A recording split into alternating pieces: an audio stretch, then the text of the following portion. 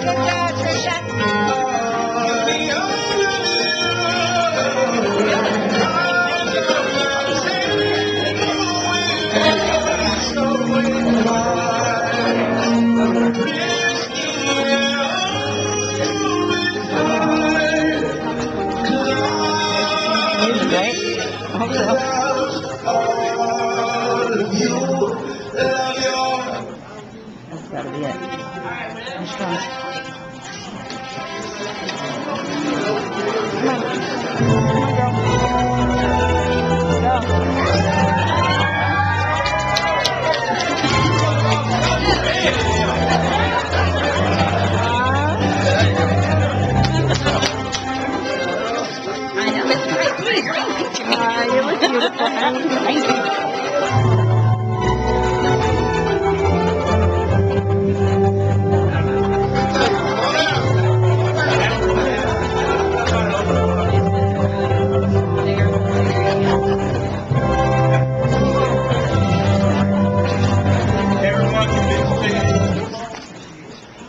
Who giveth this bride away? Her mother and I. Jason.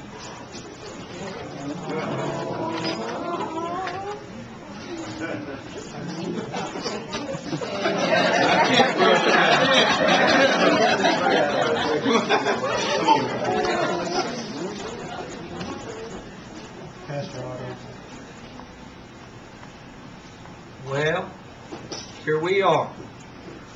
I just want y'all to know in the beginning that I may or may get through this without breaking up. If I do break up, then forgive me in advance. But, um, Shamika is very, very special to Catherine and Abigail and Philip and I. She is as much a part of our family as anybody. And we love her very, very much. We met her about 10 years, 12 years ago, and, uh, well, really longer than that. 16 years ago. I'm being, I'm being corrected. I'm being, I'm being corrected. 16 years ago, but when we first met her, we knew that she was very special. And that comes from good raising. And that comes from her family here. And uh, we feel a part of you and count you in our family as well. And um, she's seen Abigail and Philip grow up. She has been so very faithful and and just you can always count on Shamika. Always count on Shamika. She looks so beautiful today. This is your day, sweetie.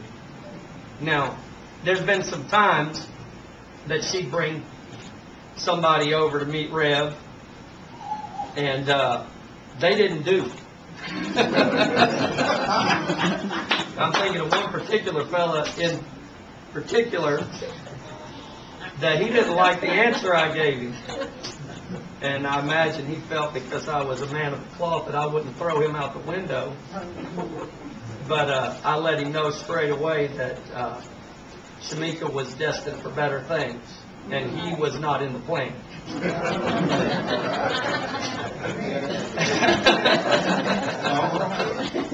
And so, we, uh, we've, we've been through a lot of miles. Shamika and I have traveled to the Philippines together. She's organized trips for us and just been such a wonderful part of our family.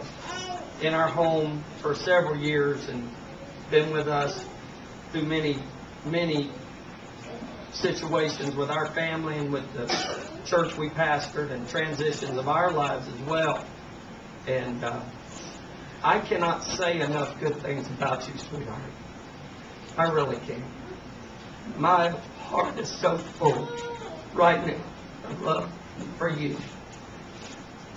And uh, of course, when we were working together in Houston, Jason came on the scene, and I had worked with Jason, and just I've always had a lot of respect for Jason's work ethic.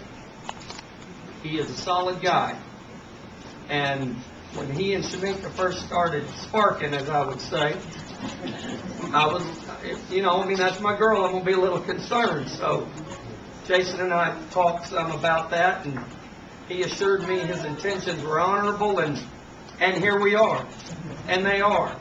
And I just want you to know something from all these people, Jason. I love you.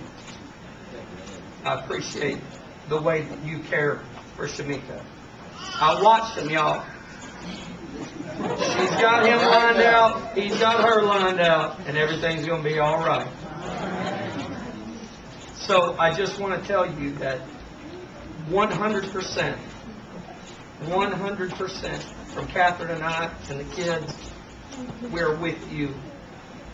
We have the highest expectations for this relationship, and I believe that both of you understand what it, what you're getting involved in. You know, the only, a, marriage is like a garden, and the only thing that grows wild in a garden is weeds. Everything else has to be planted and cultivated. And I've watched the two of you through times, giving and taking, planting what needs to be planted, rooting out what needs to be rooted out. And think, I, I feel like this garden is going to be very fruitful. And I know nobody's going to put a rush on you, but I'm sure there's going to be kids somewhere down the line. And know that you always got a babysitter. We love y'all very much. And before we move on, I just, I want to pray for you. If you could bow your heads with me.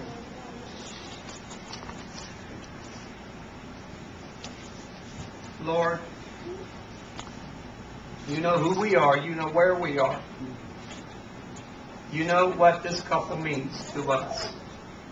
Lord Jesus, I ask you right now that you would put your hand on them today as they stand before you and pledge their love and their fidelity to one another.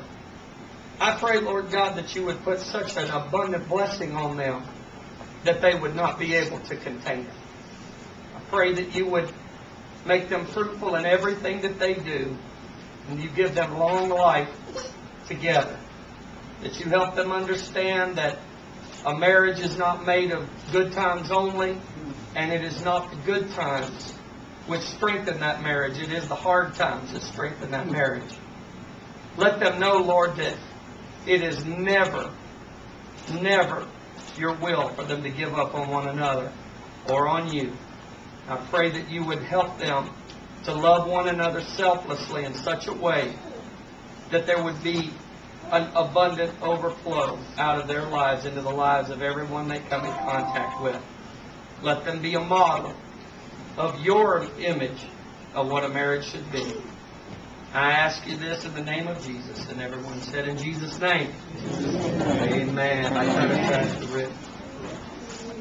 I'd like to thank Pastor Otto for the words that he has shared with us concerning the development